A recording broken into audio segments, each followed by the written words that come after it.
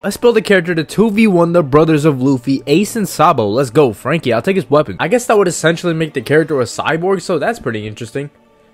Rob Lucci, I'll take the combat skill. This is a very interesting character. We got a Rokushiki master and an arsenal like Franky's. I'll take Kizaru's Devil Fruit. Just imagine Franky's weapons having the firepower of Kizaru's. Come on. Zoro between durability and haki, and I'm gonna play it safe and take his haki. Alright, we need strength, speed, IQ, and durability. Let's see what we got here. Blackbeard. I'm gonna take his strength. Blackbeard's IQ definitely would have been a great choice as well, but I really don't want someone like Bepo. Um, Ivankov is a really good IQ. Last up is speed and durability. How fast and durable are we gonna be?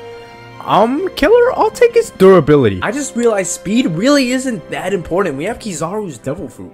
Um, but that is a very bad speed to get. Interesting. Comment who wins.